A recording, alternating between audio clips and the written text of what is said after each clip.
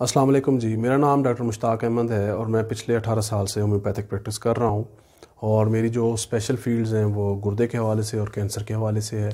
इसके अलावा मैं ऑनलाइन बैरून मुल्क और अंदरून मुल्क कंसल्टेशन भी देता रहता हूँ और यूट्यूब चैनल जो बनाया है वो आपको सेहत के मतलब जो है वो गाइडलाइंस देने के लिए है। इसी हवाले से आज का प्रोग्राम है और ये प्रोग्राम जो है ब्लड प्रेशर के हवाले से है।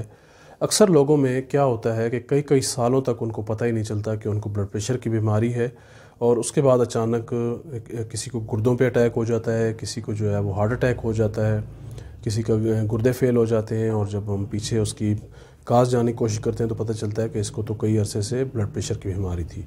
तो तमाम देखने वाले दोस्त जो इस वीडियो को देख रहे हैं, चाहे वो ब्लड प्रेशर के मरीज़ हैं या नहीं हैं, एक बात आप जहन में बिठा लें कि आप हर महीने जो है कम से कम दो दफ़ा अपना ब्लड प्रेशर लाजमी चेक करवाया करें और जो ब्लड प्रेशर के मरीज़ हैं वो तो रेगुलर चेक करवाते रहें, जो भी मेडिकेशन पे है या मेडिकेशन पे नहीं है तो उसको ब्लड प्रेशर जो है उसको किसी ना किसी तरीके से ठीक करने की कोशिश लाजमी करें। अगर आपका ब्लड प्रेशर जो है 120-80 से ऊपर जा रहा है तो उसको आप नॉर्मल लाने के लिए हर मुमकिन कोशिश करें। उसके लिए आप वॉक करें, आप अच्छी गज़ा का इंतखब करें, अपने डाइट प्लान को सेट करें और अपना जो लाइफ स्टाइल है उसको चेंज करने की कोशिश करें, क्योंकि मैं अक्सर अपनी वीडियोज़ में ये बात बताता रहता हूँ कि आप इस इस दौर में जो बीमारियाँ हैं वो ज़्यादातर स्टेंट्री लाइफ की वजह से हैं तो आप अपना स्टेंट्री लाइफ जो है उसको ठीक करने की कोशिश करें।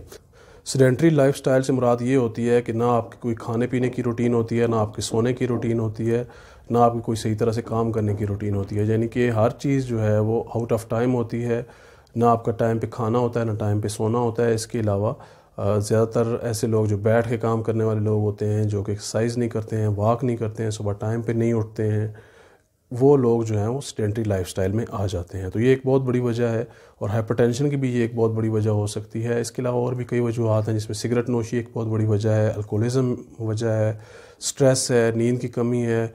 लेकिन ज़्यादातर जो डॉक्टर्स बताते हैं, वो ये बताते हैं कि हाइपरटेंशन जो है, इसकी जो काजेज़ हैं, वो 95 परसेंट जो है वो अननोन है। यानी कि उनका पता ही नहीं है कि किस वजह से किसी मरीज़ को ब्लड प्रेशर जो है वो हाई हो सकता है।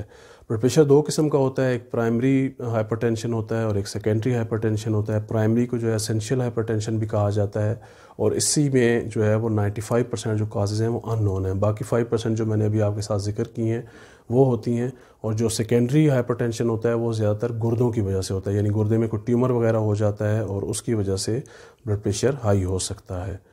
तो अभी लेटेस्ट जो नई रिसर्च आई है, वो एक स्टडी आई है जो मैं आपसे शेयर करना चाहता हूँ और वो स्टडी जो है वो हाइपरटेंशन के बारे में है और उस स्टडी में ये कहा गया है कि एक बहुत बड़ी वजह जो है, बहुत सारे लोगों में हाइपरटेंशन की वजह जो है वो हाइपर इंसोलिनीमिया है। यानी कि ब्लड लेवल में इंसुलिन लेवल जो है वो ज़्यादा हो जाता है। ब्लड में इंसुलिन लेवल ज़्यादा होने की वजह से और भी कई तरह के मसाइल पैदा तो होते हैं, लेकिन एक बहुत बड़ी वजह हाइपरटेंशन भी है।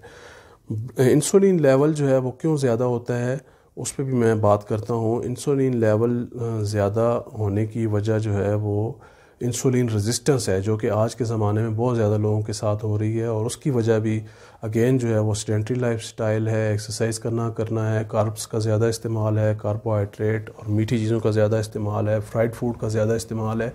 उसकी वजह से क्या होता है कि इंसुलिन रेजिस्टेंस पैदा हो जाती है।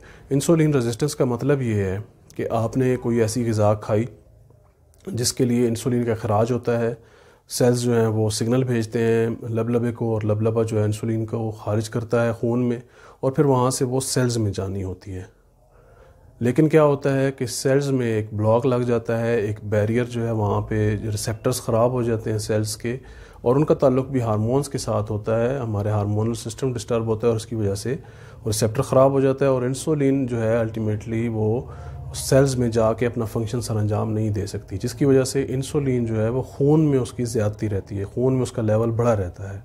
इसकी वजह से हाइपरटेंशन भी हो सकती है।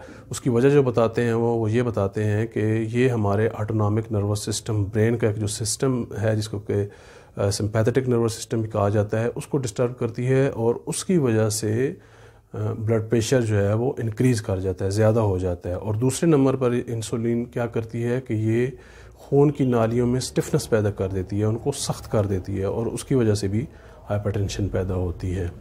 तो ये दो वजूहत पैदा होती हैं इंसुलिन की ब्लड में ज़्यादती से।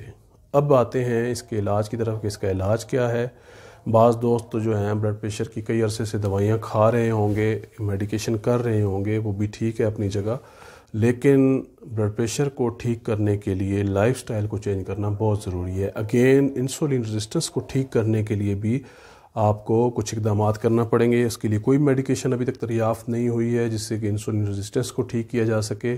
और इसका बेहतर हल जो अभी तक सामने आया है वो यही है कि लाइफस्टाइल में चेंज लाई जाए एक्सरसाइज की जाए इंटरमीडियट फास्टिंग की जाए। इसके अलावा कार्बोहाइड्रेट्स का जो है अपनी डाइट में बहुत कम कर दिया जाए प्रोटीन्स का ज़्यादा इस्तेमाल किया जाए, सब्ज़ियों का ज़्यादा इस्तेमाल किया जाए। अगर आप इंसुलिन रेजिस्टेंस को ठीक कर लेते हैं तो उससे क्या होगा कि आपका इंसुलिन लेवल जो है, वो ब्लड में नॉर्मल हो जाएगा। और इसके साथ साथ आपको और भी कई तरह के फ़ायदे होंगे। सिर्फ़ यही नहीं कि आपका ब्लड प्रेशर ठीक होगा, बल्कि आपका हार्ट जो है, वो भी सेहतमंद होगा। इसके अलावा कोलेस्ट्रॉल और ट्राइग्लिसराइड जो हैं वो भी नॉर्मल हो जाएँगे लिवर आपका तंदुरुस्त हो जाएगा। एक इंसुलिन का जो ज़्यादा लेवल है वो कई तरह के मसाइल पैदा करता है और सबसे ज़्यादा मोटापा पैदा करता है। उम्मीद करता हूँ ये वीडियो आपको पसंद आई होगी। वीडियो अच्छी लगी तो इसको लाइक और शेयर ज़रूर कीजिएगा। चैनल को सब्सक्राइब करना ना भूलिएगा। दुआ में याद रखिएगा। अल्लाह हाफिज़।